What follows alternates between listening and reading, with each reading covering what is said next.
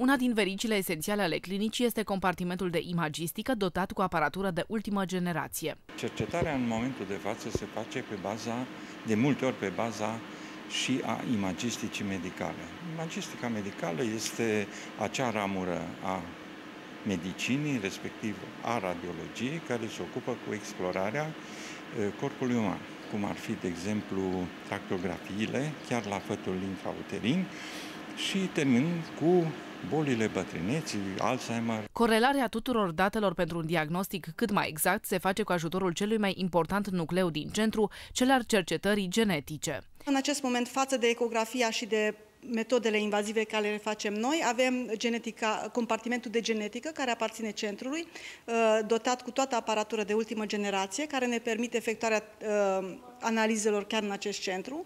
Iar dacă se pune problema unei uh, avorturi terapeutice, avem departamentul de anatomopatologie care ne vine și ne ajută, ne confirmă sau infirmă diagnosticul. În România mai există un singur centru asemănător de diagnoze la București. În cadrul programului național, testele sunt suportate de Casa Națională de Sănătate doar pacientelor care au împlinit vârsta de 37 de ani.